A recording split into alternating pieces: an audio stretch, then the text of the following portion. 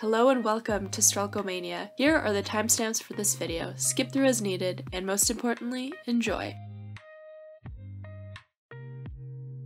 This is 3D printed origami based on the Miura-ori or map fold, a tessellation of exactly the same parallelogram with mountain and valley folds that lets you take a large surface area and compress it into a significantly smaller one. And basically, I want to turn this into a business card. You might be wondering, of all things, why take this as inspiration? Well, this year I'm attending and presenting at Rapid TCT on the topic of 3D printed origami in the world of robotics.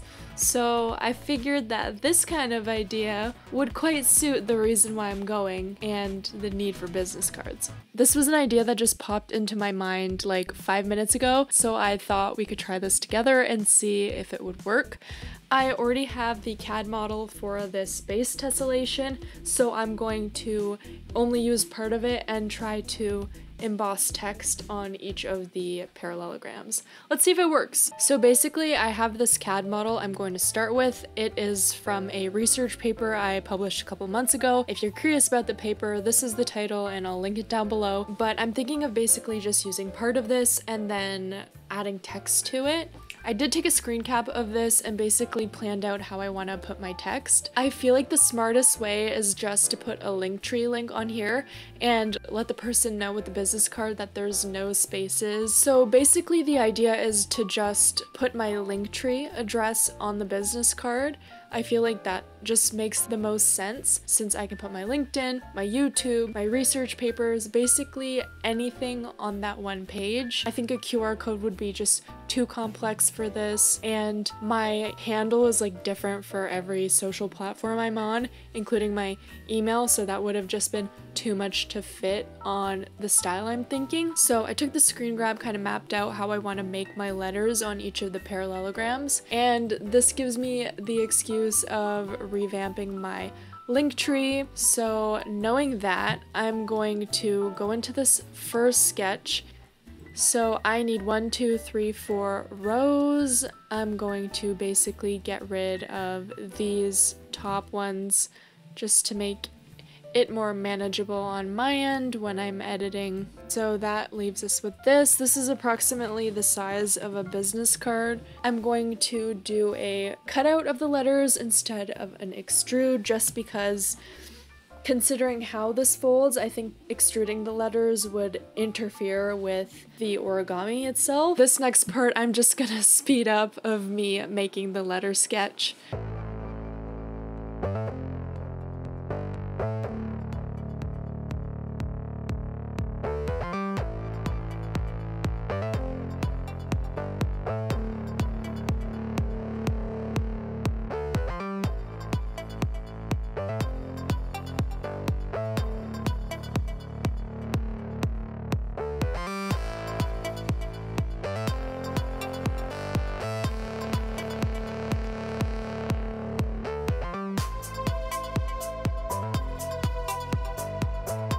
Okay, so actually I'm going to need to further modify the E's, the O, and the A, and the D because it has parts that float. Okay.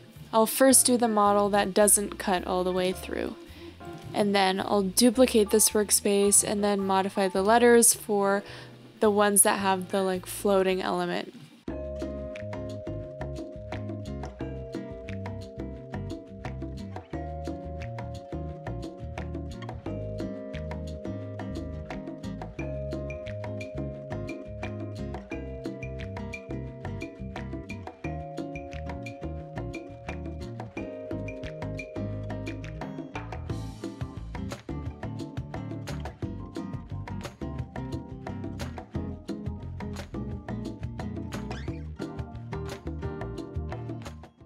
This is the version with the letters cut through. I think it looks really cool, but I'm now coming to the realization that people who get this business card might be confused by these blank panels thinking they're empty spaces. So I don't know if it'll be enough for me to just tell the person no spaces or if I should write like no spaces on the back of this I think I'm just going to print these tests and figure that out later, to be honest. Okay, so now I'm in Prusa Slicer. I'll be able to print the one millimeter letter cutout and the through hole letters together because they are only going to need two materials, the flexible material and the PLA. So the flex material I use is not exactly TPU, it's by I think Sakata 3D, it's called their X920 and it's a mix of PLA and TPU, so it has slightly different properties. It has a shore hardness of A89. If I slice these, I get a better idea of what we're working with. So the orange layers will be printed in the flexible material and the green layers will be printed in the PLA. I've gone ahead and enabled ironing to get crisper letters, so I'll show you if I disable ironing, the letters don't look as nice for the full cutout one. You can see there's voids in the toolpath, which I'll see the flex material underneath slightly, so enabling ironing for the top surface will definitely improve the aesthetics. I am printing with the generic PLA profile, but I went ahead and modified the temperature filament settings. The X920 Flex material, its data sheet gave a range between 220 to 245 degrees Celsius. I print on the hot end and increase the flow rate to get nice full layers. It's pretty easy to under extrude flexible material and then I set the bed at 50 degrees Celsius. It's recommended to be at least 40 degrees or higher for the flex material. And then I print the first few layers of PLA on top of the flex material at this high melting temperature to fuse the two different materials together. And then I'll drop it to about 220 for all the other layers. So I'll print this together. It's about three hours, including the ironing. So slice this. Then our first layer change will happen here. Then our next layer change will happen when we start to see the letters, which will be here. How many layers is that? Two layers. This is a three color business card. takes an hour and 26 minutes. And I did also enable ironing again. I think it's kind of cool too because you can see the direction of the layers compared to the top and then the one underneath in green are different. So it might give a nice textural effect as well. All right, so let's get printing. I'm really excited to see how these turn out. So it is the next day and I printed the these prototypes, one of the through hole and one of the two material print, and they look pretty bad.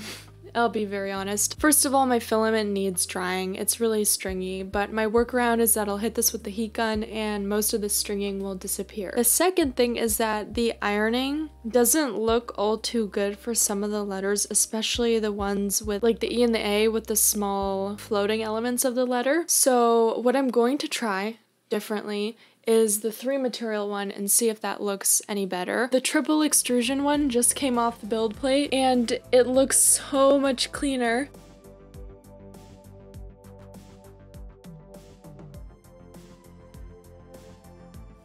Whoa. I am totally obsessed with this design. Maybe I'll try some other colors. The TPU actually has channels for indicating which is a mountain and which is a valley fold. So basically, once you have the card printed, you have to zigzag fold it like this and then kind of collapse it and it'll remember the shape. How fun is that? An origami business card. That was 3D printed. I love this. As you can see from the close-up of this print, the surface looks significantly better than the red tests. I did keep ironing enabled, which made these letters look so crisp. I think the contrast between the black and white looks awesome as well. When I'm printing the flexible material on the bottom, I do increase the flow rate from 95 to 110, and I'm printing at 245 degrees Celsius for the nozzle. So I think one trick that definitely helped this looked better was decreasing the printing temperature of the PLA to 215 for every PLA layer except the first one. The first layer that was printed directly on top of the flex material I kept really hot to improve how well the two materials bonded to each other. But for every other layer, I printed the PLA at 215 degrees Celsius and decreased the flow rate from the 110 I had for the flex back to the 95. So I think that definitely helped. I also printed the white layers at 75% speed. So in total, this print was an hour and 43 minutes including two material changes, which is kind of lengthy for a business card, but the uniqueness of this is totally worth that print time. I hope you enjoyed this little impromptu video. It marks number two for my CAD Time series where I make things in CAD and try to 3D print them. If you like what you see, subscribe for more in the very near future and if you're at Rapid TCT this year, don't be afraid to say hello if you do see me. If you have any ideas for wacky business cards or how I could have improved this design, feel free to leave your thoughts in the comments below. Thank you for your time and catch you in the next one.